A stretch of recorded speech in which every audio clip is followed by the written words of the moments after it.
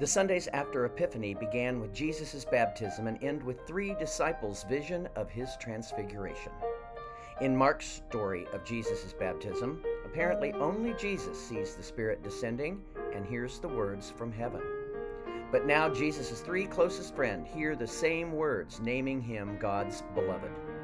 As believers, Paul writes, we are enabled to see the God light in Jesus' face, because the same God who created light in the first place has shone in our hearts to give us that vision. The light of God's glory in Jesus has enlightened us through baptism and shines in us also for others to see.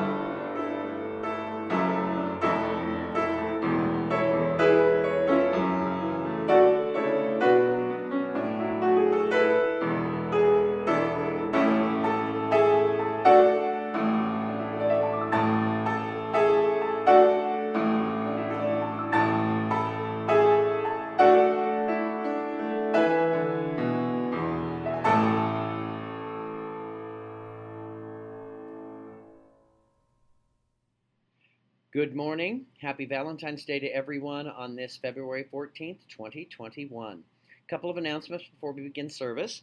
Um, first of all, I would like to add to our prayer list um, the family of Kay Noonan. Kay is a friend of Jim Allen's and also a friend of mine, um, whose father has been placed in hospice care this week in Iowa and is not expected to make it through the end of the week. So we want to keep Kay, Jim, and their families in our prayers. We also want to, I also want to thank everyone who came yesterday to deliver communion elements to everyone and those people who came to pick them up. Uh, it was greatly appreciated if you did so. Um, and those people who are delivering in the frigid cold weather deserve a special applause, a special thank you. Um, please thank them and thank you all for whatever you do for First Lutheran Church. We hope to see you soon and have a great week. Hello and welcome to worship for this Transfiguration Sunday. We begin with the words of the Apostles' Creed. I believe in God, the Father Almighty, creator of heaven and earth. I believe in Jesus Christ, God's only Son, our Lord, who was conceived by the Holy Spirit, born of the Virgin Mary suffered under Pontius Pilate, was crucified, died, and was buried. he descended to the dead. On the third day, he rose again. He ascended into heaven. He is seated at the right hand of the Father, and he will come to judge the living and the dead. I believe in the Holy Spirit, the holy Catholic Church, the communion of saints, the forgiveness of sins, the resurrection of the body, and the life everlasting. Amen. Let us pray. Almighty God, the resplendent light of your truth shines from the mountaintop into our hearts. Transfigure us by your beloved Son, and illumine the world with your image. Through Jesus Christ, our Savior and Lord, who lives and reigns with you and the Holy Spirit, one God, now and forever. Amen.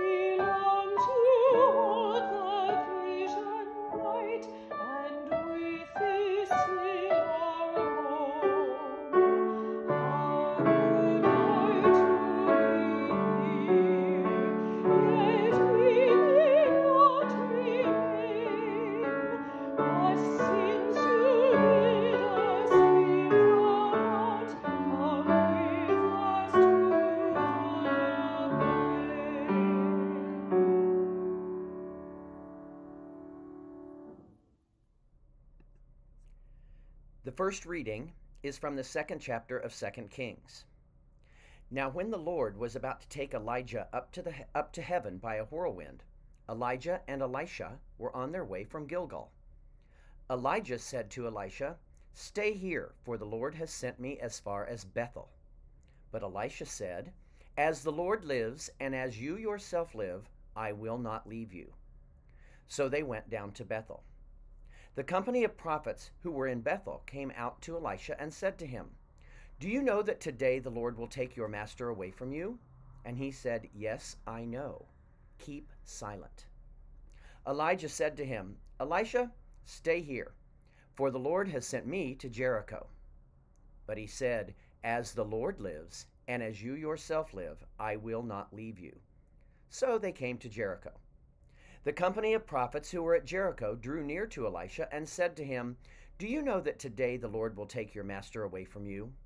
And he answered, Yes, I know. Be silent.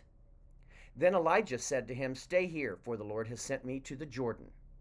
But he said, As the Lord lives, and as you yourselves live, I will not leave you. So the two of them went on. Fifty men of the company of prophets also went and stood at some distance from them, as they were both standing by the Jordan. Then Elijah took his mantle and rolled it up, and struck the water. The water was parted to one to the one side and to the other, until the two of them crossed on dry ground. When they had crossed, Elijah said to Elisha, Tell me what I may do for you before I am taken from you. Elisha said, Please let me inherit a double share of your spirit. He responded, You have asked a hard thing. Yet if you see me as I am being taken from you, it will be granted you. If not, it will not. As they continued walking and talking, a chariot of fire and horses of fire separated the two of them, and Elijah ascended into the whirlwind into heaven. Elisha kept watching and crying out, Father, Father, the chariots of Israel and its horsemen. But when he could no longer see him, he grasped his own clothes and tore them in two pieces. The word of the Lord. Today's psalm is verses 1 through 6 of Psalm 50. The mighty one, God the Lord, has spoken, calling the earth from the rising of the sun to its setting.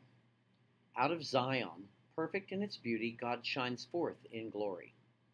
Our God will come and will not keep silence. With a consuming flame before and around about a raging storm.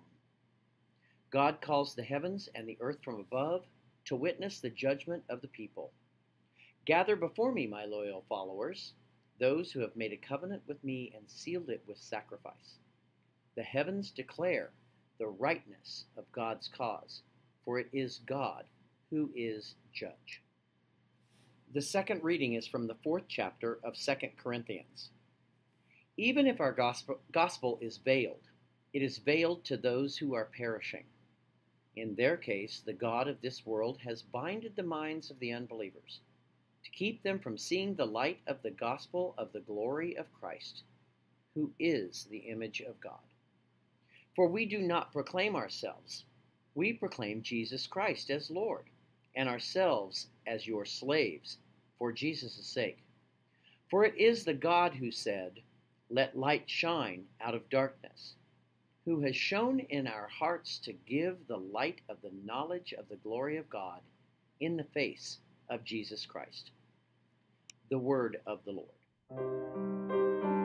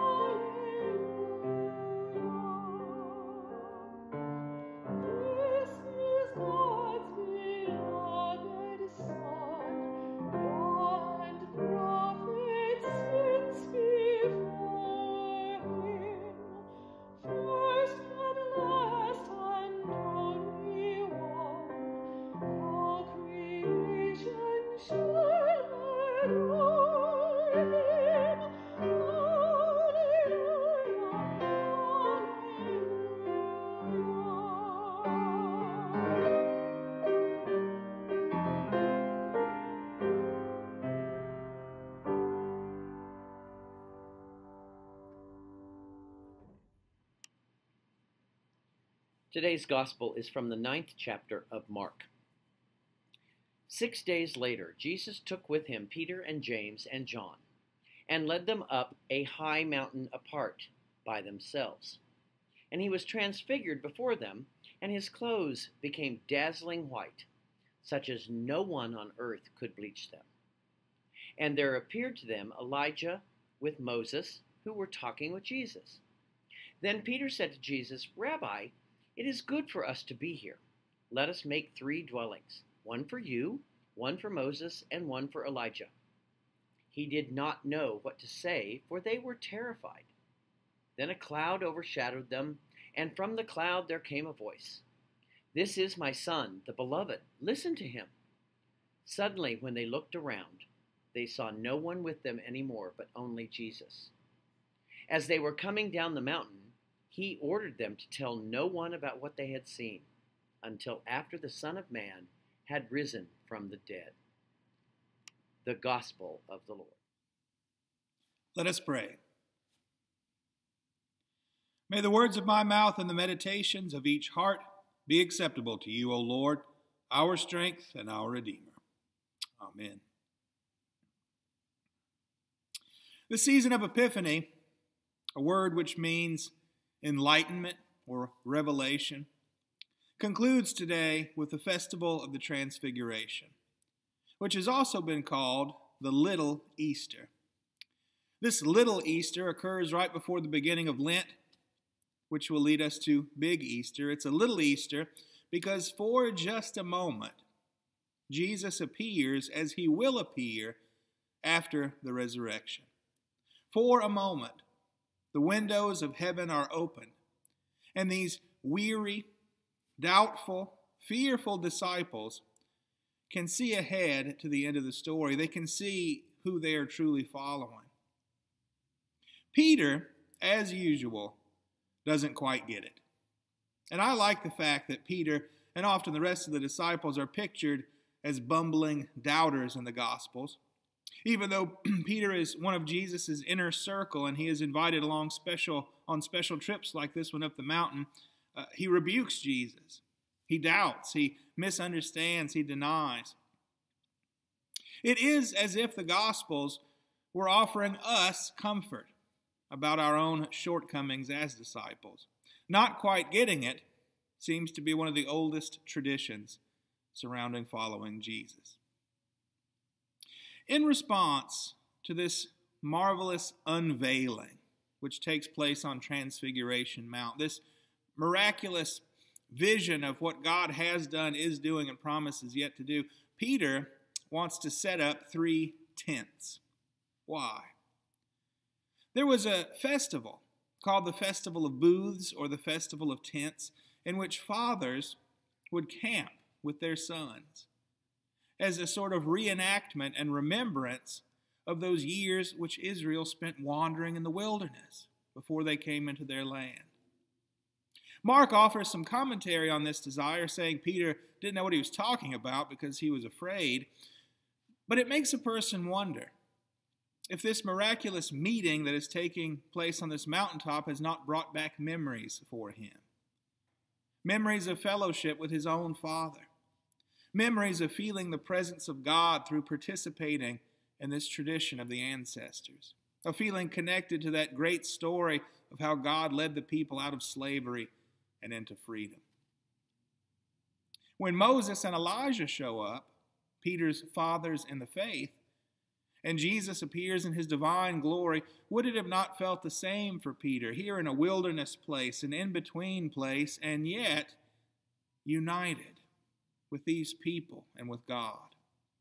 Moses and Elijah, like his own father had done, connecting him to history, even as he continues to follow Jesus into the future. Perhaps that. And perhaps, as other commenters have wondered, does not Peter simply wish for that moment not to end? The future is uncertain, especially with Jesus having only in the previous chapter predicted that he must be crucified. The past has been full of hardship, of crowds pressing in with their needs, with their illnesses, and with their demon possessions. But here in this moment, all of that seems worth it. Here in this moment of transfiguration, doubt is gone. Everything is suddenly in agreement. Let's build three tents so we can all just stay here just like we are now. But of course, the mountaintop moments cannot last forever. They serve a purpose to strengthen us for the work that is left to do. On that mountaintop on that day, heaven opened up and gave disciples a glimpse of ultimate truth. How has heaven opened up in your life? How has Jesus, as heaven's ambassador, shown up for you to strengthen you on the way? Last summer, while we were still getting used to this new way of life during the pandemic, Jesus showed up in my life as my nine year old daughter Zoe. She knew I was having to do something different at church. She knew that we were worshiping outside and that I was coming to church early to set up an outdoor space. And for whatever reason, she was adamant that I not have to do that alone.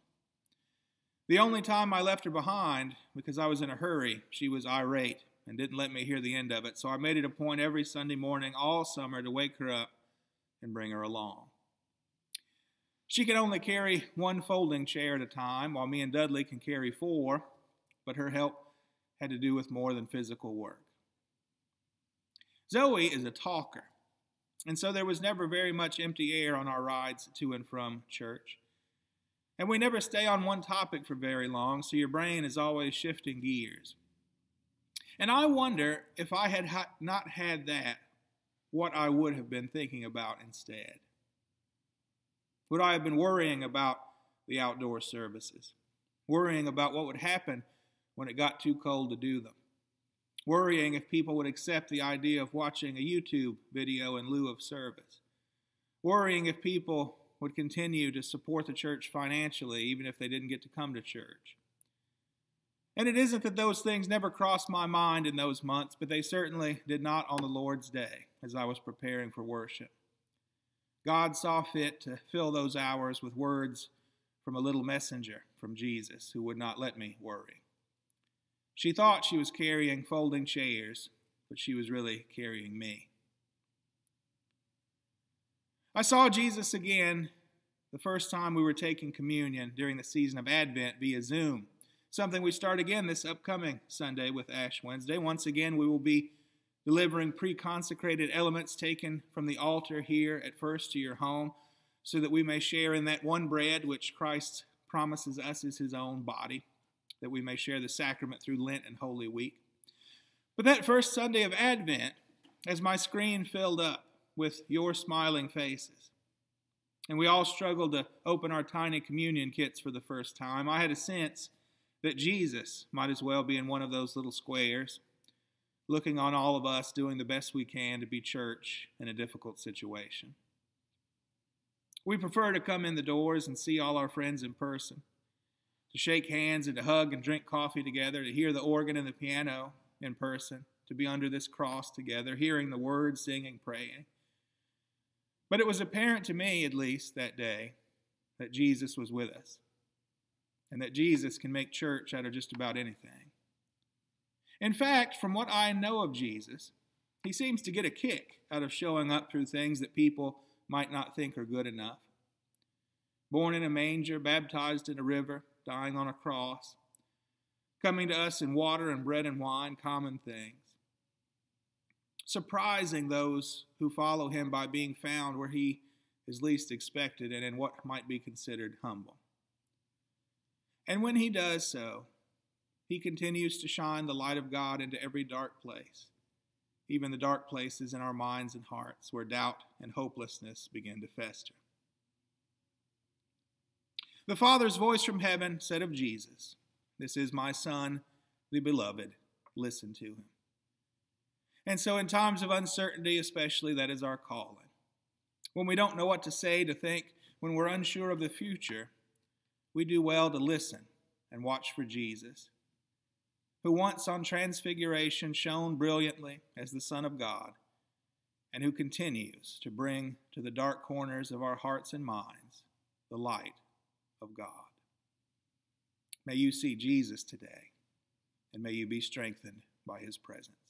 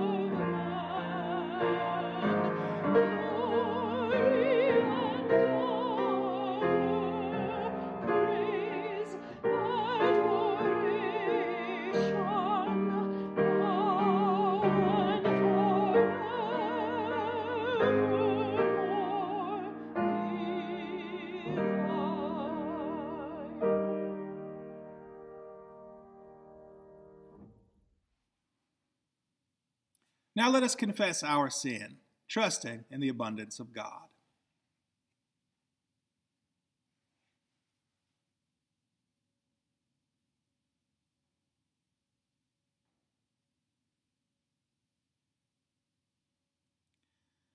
Holy God, you search us and know us. You are acquainted with all our ways. We confess that our hearts are burdened by sin our own sins, and the broken systems that bind us. We turn inward, failing to follow your outward way of love. We distrust those who are not like us. We exploit the earth and its resources and fail to consider generations to come. Forgive us, gracious God, for all we have done and left undone. Even before the words are on our tongues, you know them. Receive them in your divine mercy. Amen. How vast is God's grace!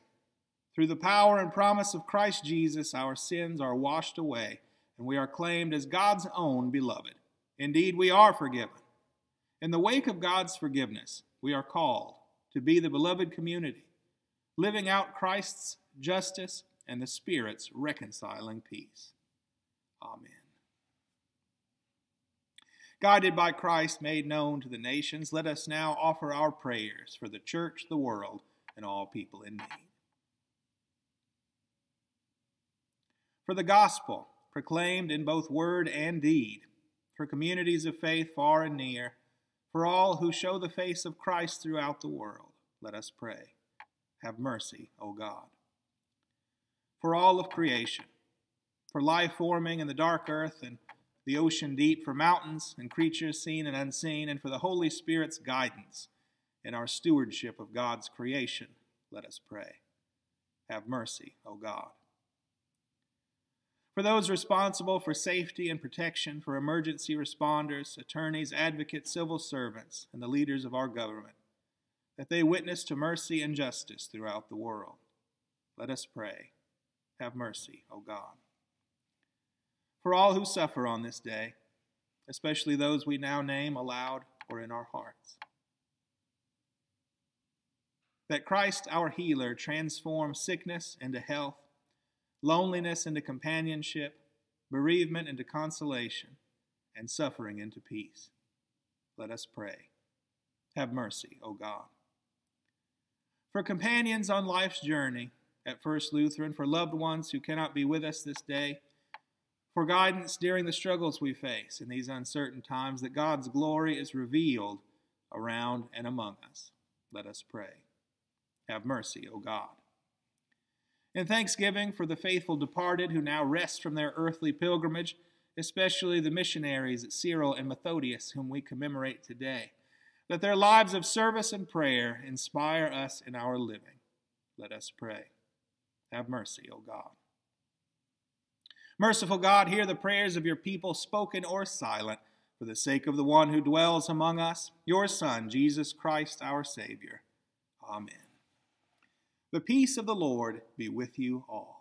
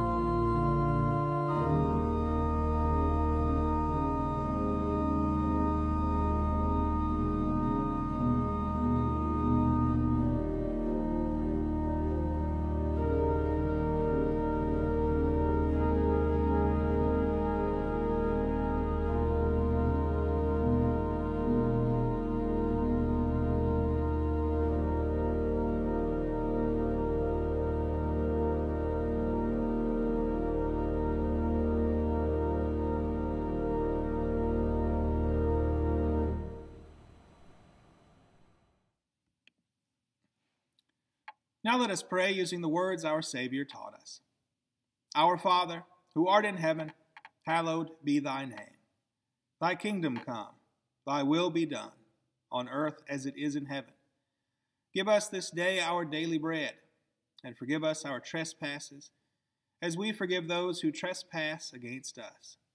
And lead us not into temptation, but deliver us from evil. For thine is the kingdom, and the power, and the glory forever and ever. Amen. God the Creator strengthen you, Jesus the Beloved fill you, and the Holy Spirit the Comforter keep you in peace. Amen. Go in peace, be the light of Christ.